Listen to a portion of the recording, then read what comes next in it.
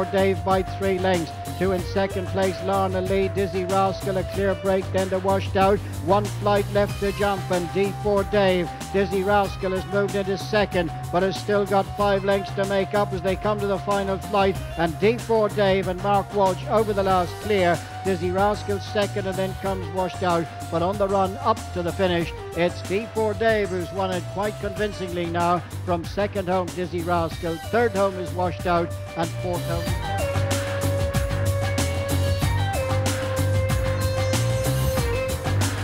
Yeah, it was great. So it was a, a, bad day at the office for the bookies, an absolutely brilliant day for uh, for pulling off a good old fashioned betting coup. And the people who organised this, do you know who they are? Who are? Uh, can you I don't say? know. They, no, basically, I don't know.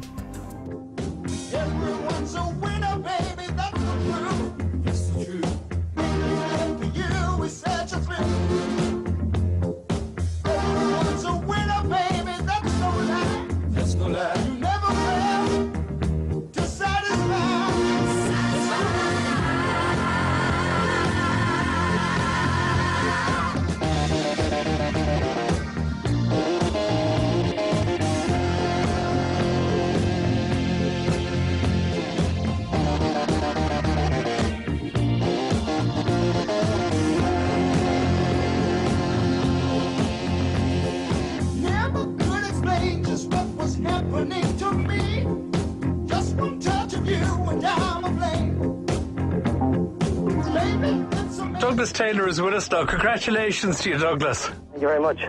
What made you so confident your horse was going to win if it was been given a 14 to 1 odds by the bookies? Ah, I was quietly confident. Uh, Conor was uh, thought he was improving all the time. And Sorry, who's Conor? Conor O'Dwyer, the trainer.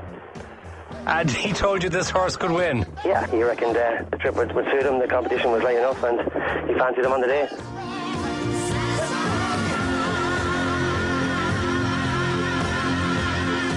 Of course, we've all been reading about the military precision with the way the bets were put on and, and what have you. Were you aware of that going into the race, or were you just aware that there was a few quid going on? No, I was just aware. I told Doug. I said tonight's tonight. I said it's it's a bad race. If he's ever going to win, it's, it's tonight. And he had uh, obviously all this planned beforehand. So um, you know, uh, I think it worked out quite well. And what was the first you heard about all the agents that had been dispatched, and when did you actually find out about that first? Um, I went for a, a quiet drink with Doug after, and he filled me in a bit on what was after happening. So. Uh, um, and then of course the papers today and whatever. So uh, it, was, it was good.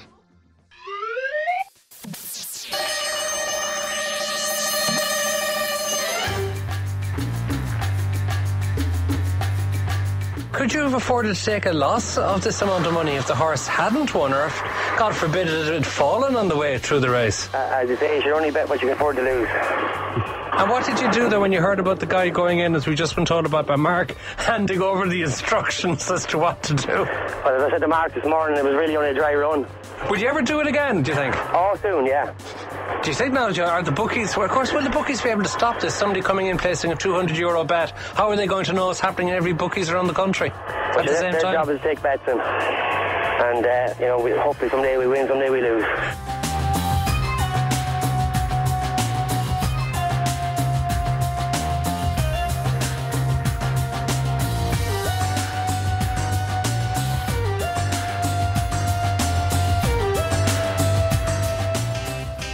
got a feeling